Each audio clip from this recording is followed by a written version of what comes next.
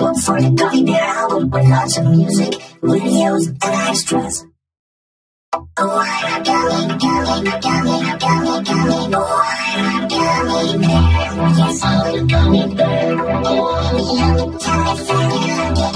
I'm.